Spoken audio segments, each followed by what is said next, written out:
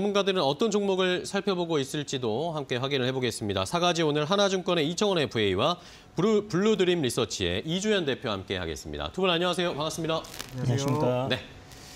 자, 먼저 이청원 FA님부터 어떤 종목을 좀 살펴보고 계신지 궁금한데요. 네, 비올이라고 하는 기업입니다. 네. 미용 목적의 의료기기를 연구 개발 그리고 생산하고 있는 기업입니다. 우리가 미용에 대한 관심은 계속해서 증가하고 있죠. 기존 여성이라고 한 아, 여, 여성분에 의해서만 해당 시장이 어느 정도 형성이 되었는데 이제는 남성들 또한 해당 시장에 지속적으로 참여를 하고 있습니다.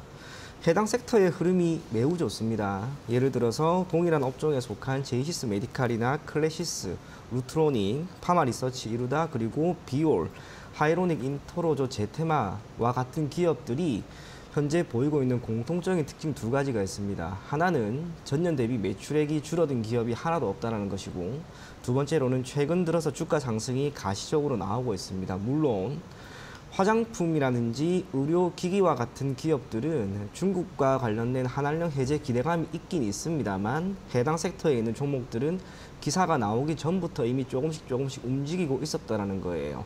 실적이 조금 전에 이야기 드린 것처럼 매우 받쳐주고 있기 때문에 내년 1분기 사업 보고서가 나오는 그 시점까지 해서 earning surprise 혹은 큰 폭의 실적 개선은 아마 대다수가 다 나오지 않을까 그리 생각을 합니다. 우호적인 경영 환경이 어느 정도 형성이 되어 있고 연평균 10% 이상 해당 시장이 성장하고 있다라고 하는 평가를 받기 때문에 아마도 내년에도 실적은 조금 더 나아지지 않을까 그리 생각을 합니다.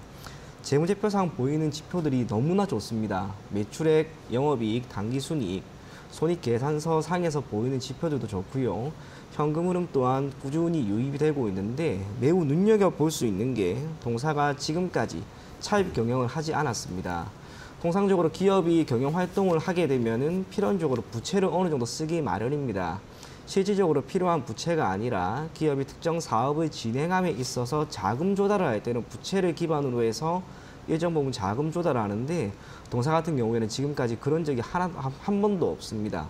유일하게 지난 3분기 때 단기 차입금을 4억 차입한 게 전부입니다. 이게 의미하는 것은 동사 같은 경우에는 차입이라고 하는 것을 기반으로 경영 활동을 하는 부분을 상당 부분 배제하고 있다는 거예요.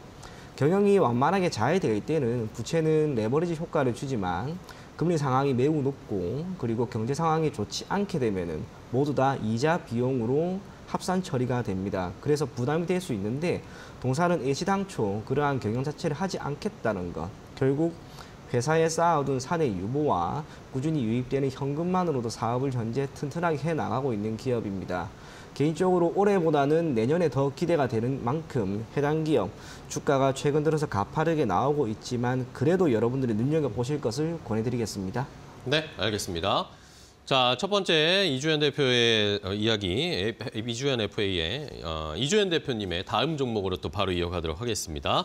자, 이주연 대표님은 어떤 종목 보고, 보고 계세요? 네, 오늘 뭐 아마 다들 눈여겨보고 계실 종목인데요. 어, 드론 관련해서 어제부터 이제 이슈가 되면서 어, 관련주들이 좀 강하게 상승을 하는 모습들이 나왔는데 그 중에서 이제 코콤이라는 어, 종목입니다. 네. 어, 금일 상한가를 갔는데 어, 이 UMA 관련 종목들이 이제 어, 시장에서 관심을 받고 있는 상황에서 음, 코콤 같은 경우는 이제 어, 기본적으로 이제 도어락이라든지 어, 이런 그 방어적인 시스템을 어, 좀 어, 국방부에 납품을 해오는 그런 어, 실적이 있는 기업인데요.